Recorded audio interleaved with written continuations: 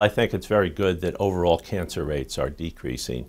Of great concern, though, is the fact that in head and neck cancer, those cancers related to HPV in the oropharynx have been increasing over time.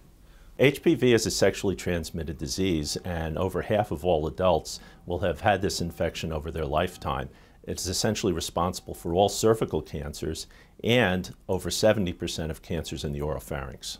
This is a model of the mouth, the tongue, and we turn it around, we see the voice box and the back of the throat. The HPV-related cancers occur at the base of the tongue and in the tonsillar area that would look like this.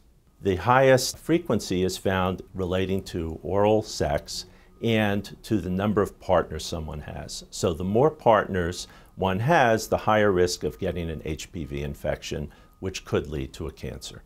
While more than half of the adult population has had an HPV infection, most individuals clear the infection and they get rid of it. It's gone.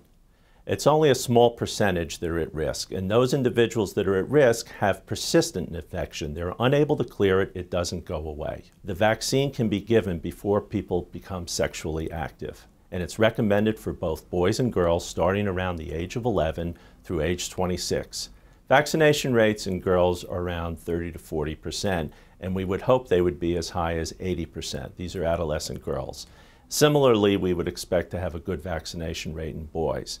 Why is this so? Why is it low? Well, we have to have buy-in from the parents. If the parents believe that the vaccine is important, that it's safe, it's effective, and it prevents HPV disease, and there's a good re relationship with the parent and the pediatrician, then we'll get the children vaccinated. So for those individuals in the older age group, it really depends on uh, what their history is and what their current sexual activity is. If they have multiple sexual partners currently, then they may be at risk. And what they should do is they should talk to their personal physician and consider getting the vaccine. But we should all remember that this cancer is preventable with the vaccine. We really need to focus on getting our adolescent children vaccinated at the appropriate time.